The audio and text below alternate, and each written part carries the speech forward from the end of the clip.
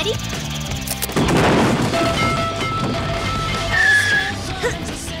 Taco, stop! Huh?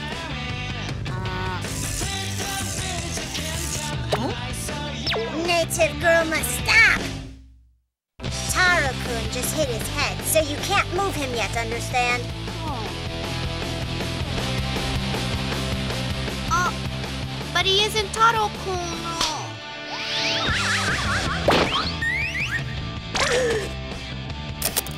He's dead!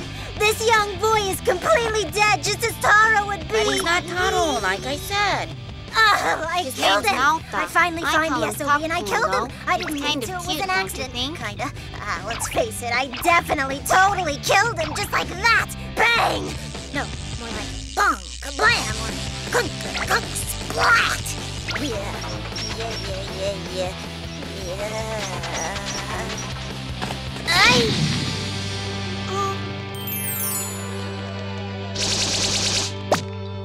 Come back to life!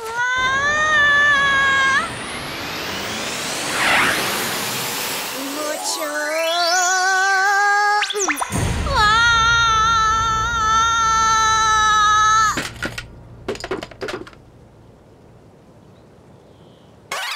Those slow motion scenes are really tough, huh?